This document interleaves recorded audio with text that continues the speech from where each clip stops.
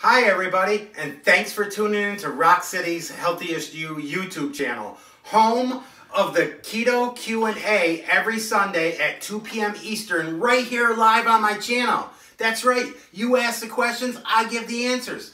As always, I appreciate y'all coming in, watching my video. If you haven't done so, subscribe to my channel and click that little bell icon down there. Be notified whenever I go live or I post new content.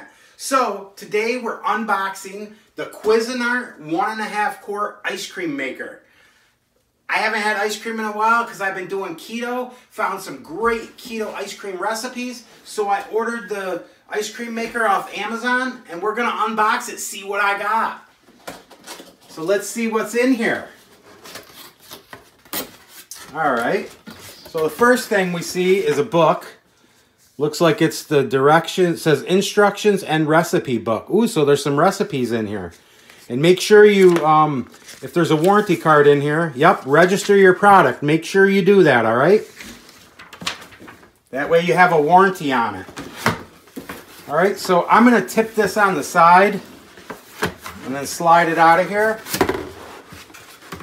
Looks like it comes packaged very nice, safe, so it doesn't get broke on the way.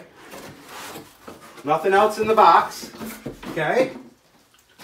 And make sure um, before you use this, you wash it really good in some warm soapy water.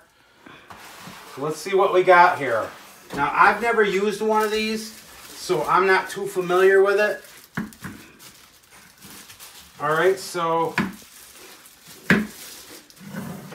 there's not really too much to it. This is the paddle that mixes it all up. And then this looks like um, an aluminum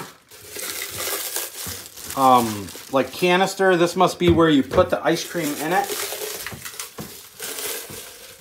I'll grab a knife so I can unwrap that really quick. Oh, I don't have to. And then, um, you know, if you don't follow me up on Facebook, you can find me on Instagram, Facebook, YouTube, and also I'm on LinkedIn. Just type in uh, hashtag Tim Harris Live, and you'll find some of my content somewhere on one of those platforms. Then you just click on my name to get to my page, all right? Okay, so let's get all this out of here. This makes one and a half quarts, which is a lot of ice cream. Ooh, nice little plastic. Feels heavy duty.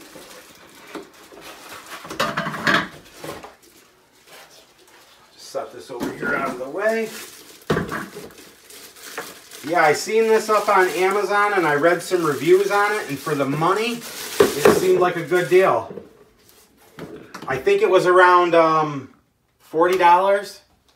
But I'll post a link to this in the comments in case you're interested. All right. So that's it. And then we just put this on here somehow. No, this is going to go over the top. So this goes on there.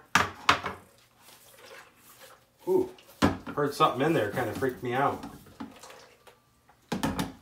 So, okay, that just sits on there. Oh, actually, nope. This is going to sit on there. And this must go in it somehow here. Hmm. I guess I'll have to read the directions. But that's it, folks. Nice little ice cream maker. Can't go wrong for under a hundred bucks. And then once you get all your ingredients in here, you just turn on the button and in 20 minutes you got ice cream. All right, so thanks for tuning in. And I'm going to do a review on this. Once I use it, let you know what I think. Bye.